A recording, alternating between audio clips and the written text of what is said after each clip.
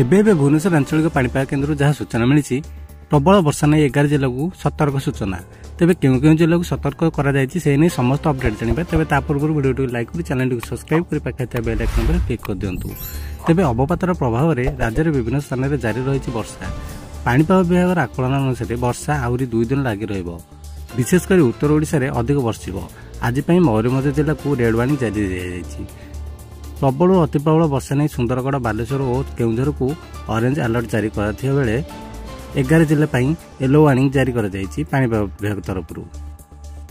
ପ୍ରବଳ ବର୍ଷା ନେଇ ଜିଲ୍ଲାପାଳକୁ ସତର୍କ କରାଇଛନ୍ତି ସ୍ୱତନ୍ତ୍ର ରିଲିଫ କମିଶନର ମାଟିଘର ଭାଙ୍ଗିବା ସହ ତଳିଆ ଅଞ୍ଚଳରେ ପାଣି ଜମା ହୋଇପାରେ କିଛି ନଦୀରେ ଜଳପତନ ବୃଦ୍ଧି ଘଟିବା ଆଶଙ୍କା ଥିବାରୁ ଆବଶ୍ୟକ ପଦକ୍ଷେପ ନେବାକୁ ଜିଲ୍ଲାପାଳଙ୍କୁ ନିର୍ଦ୍ଦେଶ ଦିଆଯାଇଛି। ସେପଟେ ମୟୂରଭଞ୍ଜରେ ଲଗାଣ ବର୍ଷା ଯୋଗୁଁ ବଡ଼ବିଲ ଗାଁରେ ଭୁଷୁଡ଼ି ପଡ଼ିଛି ଘର। ଏଥିରେ ଜଣେ ବାଉନ ବର୍ଷୀୟ ମହିଳାଙ୍କ ମୃତ୍ୟୁ ହୋଇଥିବା ବେଳେ ପରିବାରରେ ଆଉ ତିନି ଜଣ ଆହତ ହୋଇଛନ୍ତି। ଏପଟେ ଲଘୁଚାପ ଜନିତ ଲଗାଣ ବର୍ଷା ପରେ ଫୁଲିଛି ଜଳକା ନଦୀ ବିପଦ ସଂକେତ ପରେ ପ୍ରବାହିତ ହେଉଛି ନଦୀର ଜଳସ୍ତର। ଫଳରେ ନଦୀ କୂଳେ ଲୋକଙ୍କୁ ଘାରିଛି ବନ୍ୟା ଆଶଙ୍କା।